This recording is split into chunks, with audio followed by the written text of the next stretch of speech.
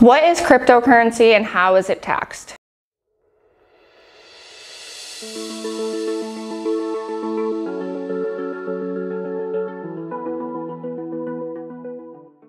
A cryptocurrency is a store of value in digital form and medium of exchange.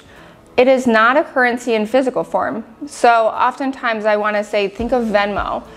Let's say you deposit $500 into your Venmo account. You would deposit that to make a purchase or exchange money with people.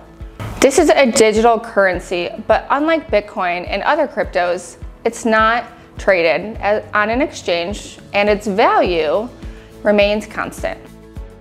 With Tesla's purchase of 1.5 billion of Bitcoin, cryptocurrency has gotten a lot of attention. Consider this, if you bought one Bitcoin on June 1st, 2020, the price was 9,470.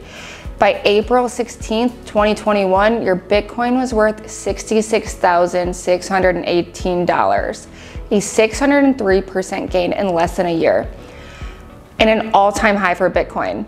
As of May 18, 2021, the price had fallen to 42,786. Bitcoin investing is not for the faint-hearted. Most financial advisors suggest you never invest more than 5 to 10% of your investable assets in cryptos. So how are cryptos taxed? In 2014, the IRS ruled that cryptos are capital assets. Capital assets are taxed whenever they are sold at a profit, and capital gains or losses are taxed according to how long they are held. Assets held for more than a year before they are sold are taxed at the lower capital gains rates. Assets sold less than a year are taxed at the higher ordinary tax rates. In this example above, the Bitcoin bought on June 1st, 2020 for 9,470 would reap a profit of 57,148 if sold on April 16, 2021. However, since it was held less than a year, the gain would be taxed at ordinary income tax rates. But if the Bitcoin was sold on May 28, 2021 for 42,786, the profit of 33,316 would be taxed at capital gains rates since it was held for more than a year. Whether you owe taxes on your cryptocurrency depends on how you got it and how you use it. One, cryptos are produced by mining them. Each time one new crypto is produced, it has resulted in a person or company using computers to solve complicated equations and record data.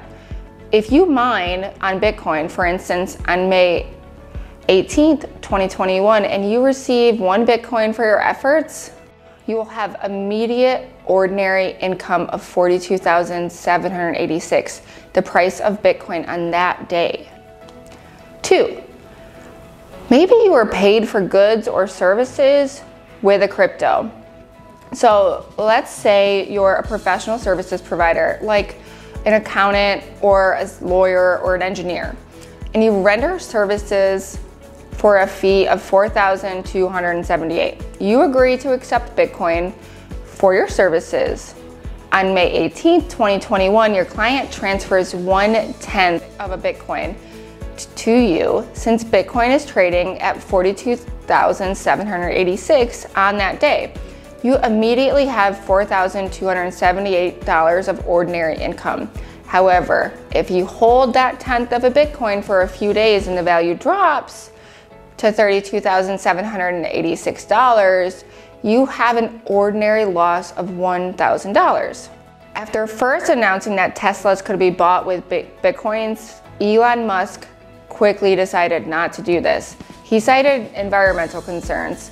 However, it's very true that the accounting for cryptocurrency is extremely complicated. Number three, swapping one crypto for another will create a short-term capital gain or loss, taxable at ordinary tax rates.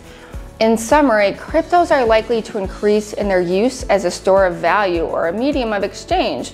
Accounting for crypto transactions can be complex and also the resulting taxable income or loss and characterization as capital or ordinary taxable transactions.